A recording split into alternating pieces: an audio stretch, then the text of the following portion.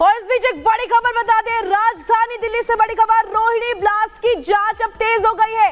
CCTV footage खंगाल रही है, यहाँ पर जो जाँच और लगातार इस पूरे मामले को लेकर के तफ्तीश जारी है। रोहिणी धमाके की मामले को लेकर के जाँच अब तेज हो गई है। पहले तक के जो सीसीटीवी है, वो खंगाले जा रहे हैं। कितने घंटे पहले यहाँ पर ये प्लांट किया गया था, इसकी भी लगातार पड़ताल की जा रही है। शनिवार को भी विस्फोटक रखने की आशंका जताई गई है। तो जाँच एजेंसियाँ लगातार हर एंगल के ज़रिए यहाँ पर पड़ताल करें। विस्फोटक रखने की टाइमिंग यहाँ पर तलाशी जा रही है।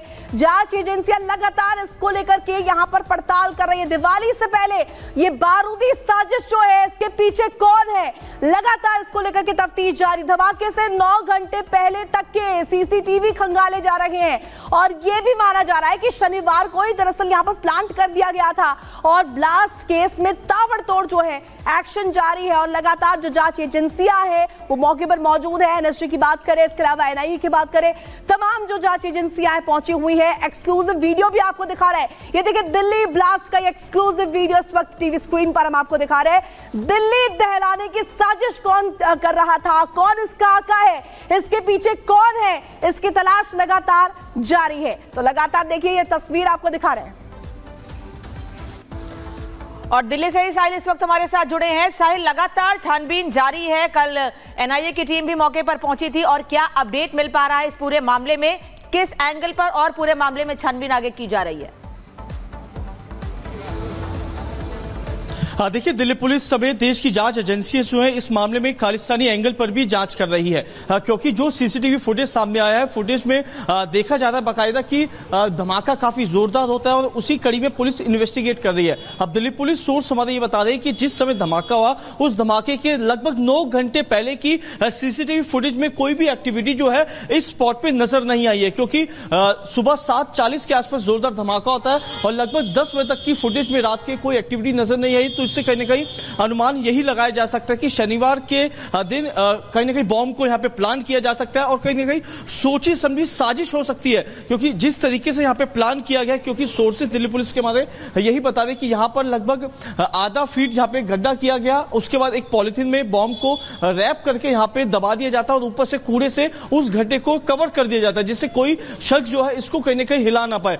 जिसके बाद रविवार की सुबह सात चालीस पे यहाँ पे ब्लास्ट होता है। लेकिन अब दिल्ली पुलिस जो है, शनिवार की दिन भर के जो सीसीटीवी कैमरे हैं, वो खंगालने में जुटी हुई है, जिससे कुछ और कड़िया जो है, उसको जोड़ने में आसान हो सके, क्योंकि अभी तक ये साफ़ नहीं हो पाया कि जो आईडी ब्लास्ट हुआ है, वो कौन से केमिकल से बनाया गया, कितना हाई तीव्रता का ब्लास्ट था, उसकी जाँच की जाती है, लेकिन इसमें एनआईए हो, चाहे वो एनएसजी की टीम हो, वो तमाम जाँच एजेंसियाँ जो है, इस मामले में काफ़ी ज़्यादा बारीकी से ले रही हैं, क्योंकि त्योहारों से पहले एक जोरदार ब्लास्ट हुआ है, और इस पूरे मामले को काफ़ी ज़्यादा दिल्ली पुलिस समेत जाँच एजेंसियों ने सीरियस वे में लिया हुआ है। क्योंकि कुछ दिन पहले यहाँ पे पुणे सीआरपीएफ की एक टीम यहाँ पर पहुँची थी जिस जगह पे आप ठीक है टीम वहाँ पर पहुँची थी। आप ग्राउंड से एक तस्वीर दिखा रहे एक्सक्लूसिव तस्वीरें उसी जगह से आपको दिखा रहे जहाँ पर धुएँ का गुबार उठता हुआ नज़र आया था धमाका ज़ोर से हुआ था।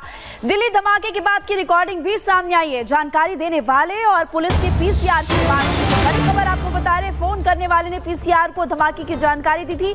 स्कूल के बाहर तेज धमाका हुआ था और धुआँ उठा जो सफ़ेद रंग का, उसकी जानकारी पुलिस को दी थी और पुलिस इससे भी पूछताछ कर रही है। मौके से भारी मात्रा में सफ़ेद पाउडर भी मिला है। धमाके के बाद सफ़ेद धुएँ का गुबार निकला था।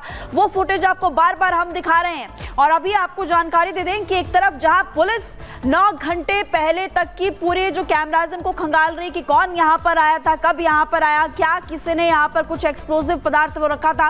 वो एक तरफ़ जहाँ जाँच की जा रही है दूसरी तरफ़ आपको बता रहे हैं कि दिल्ली धमाके के बाद की अब रिकॉर्डिंग भी सामने आ चुकी है। जिसने पीसीआर को कॉल किया था उससे भी पूछताछ की जाएगी। विस्फोटक अधिनियम के तहत केस दर्ज किया गया।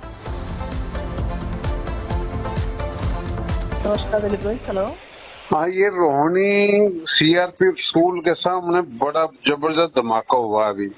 रोहिणी? रोहिणी प्रशांत विहार। कौन सी स्कूल बता रहे थे? सीआरपीएफ स्कूल के सामने मैंने वीडियो भेज दिया सौ नंबर पे अपने पर जल्दी। सीआरपी स्कूल के पास सर किस चीज़ का धमाका हुआ है? मैंने के बेरा मैं तो अपने घर आऊँ बहुत ज़ोर का धमाका हुआ धुआँ उठा है। सुनाई दी आपको हाँ? आवाज़ सुनाई दी धमाका की आवाज़ बड़ा ज़बरदस्त और बहुत ज़्यादा धुआँ है। ठीक है जी।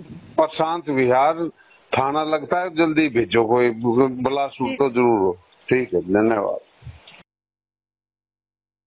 कॉल का ज़िक्र हम कर रहे थे पीसीआर अटेंडेंट हाँ ये रोहिणी सीआरपीएफ स्कूल के सामने बड़ा ज़बरदस्त धमाका हुआ अभी। रोहिणी? रोहिणी प्रशांत विहार। कौन सी स्कूल बता रहे थे? सीआरपीएफ स्कूल के सामने मैंने वीडियो भेज दिया सौ नंबर पे अपने पर जल्दी सीआरपी स्कूल के पास कैसे किस चीज़ का धमाका हुआ है? मन ने के बेरा मैं तो अपने घर आऊँ बहुत ज़ोर का धमाका हुआ धुआँ उठा है। आवाज़ सुनाई दी आपको हाँ? आवाज़ सुनाई थी धमाका की आवाज़ बड़ा ज़बरदस्त और बहुत ज़्यादा धुआँ है। ठीक है जी। प्रशांत विहार थाना लगता है जल्दी भेजो कोई बिलासपुर तो ज़रूर हो। ठीक है धन्यवाद।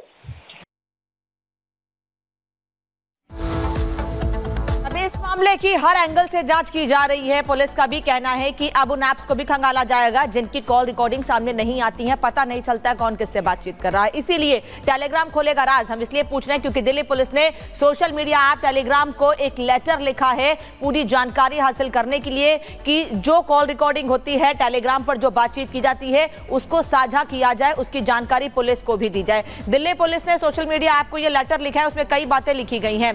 Telegram channel justice league India के बारे में जानकारी मांगी गई है। ब्लास्ट के बाद टेलीग्राम चैनल पर सीसीटीवी फुटेज भी डाली गई थी। सीसीटीवी फुटेज डालकर ब्लास्ट की ज़िम्मेदारी ली गई थी। पुलिस की जाँच में अभी तक किसी संगठन का नाम सामने नहीं आया है, लेकिन जाँच जारी है। टेलीग्राम से भी अभी तक पुलिस को कोई जवाब नहीं मिला है कि जिस चैनल के बारे में पुलिस जानकारी चाहती है, उसकी जानकारी टेलीग्राम की ओर से सोशल मीडिया ऐप की ओर से दी जाएगी या नहीं। क्योंकि पुलिस आतंकी एंगल की भी जानकारी हासिल कर रही है या किसी ने शरारत के चलते ये ब्लास्ट वहाँ पर किया है, किसी वजह से ये ब्लास्ट हुआ है, इसकी जानकारी भी पुलिस की ओर से हासिल की जा रही है। तो तमाम एंगल से जाँच हो रही है, यही वजह की टेलीग्राम को लेटर लिखकर जानकारी मांगी गई है। बिल्कुल अनामिका आप ग्राफिक्स के ज़रिए जानकारी दे रही हैं, लेकिन एक बार फिर से अपने तमाम दर्शकों को ग्राउंड पर लिए चलते हैं, क्योंकि साहिल वहाँ पर लगातार बने हुए हैं। साहिल, दो सवाल है। एक तरफ़ हमने रिकॉर्डिंग सुनाई पीसीआर अटेंडेंट की, और जिसने शिकायत दर्ज कराई थी, जिसने जानकारी दी थी, उसके बीच रिकॉर्डिंग जो है, उससे भी पूछताछ क्या की जा रही है, ये बताइएगा। और दूसरा ये कि टेलीग्राम ऐप को भी चिट्ठी लिखी गई है। हालाँकि अभी तक कोई टेलीग्राम की तरफ़ से जवाब नहीं दिया गया। इस पर कोई अपडेट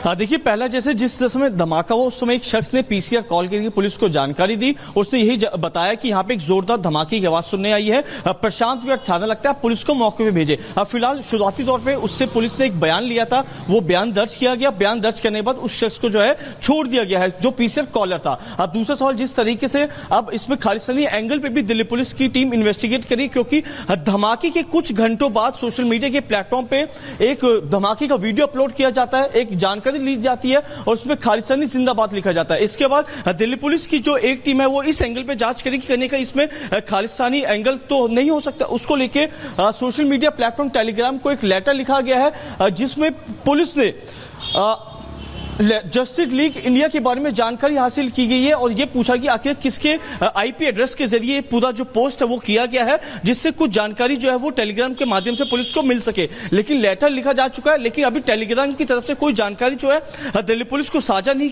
की गई है। लेकिन सोर्सेज ये बता रहे हैं दिल्ली पुलिस के, कि आज शाम तक जो है टेलीग्राम की तरफ़ से दिल्ली पुलिस को जो है, इस पूरे मामले की जानकारी जो है वो दी जाएगी। लेकिन दूसरी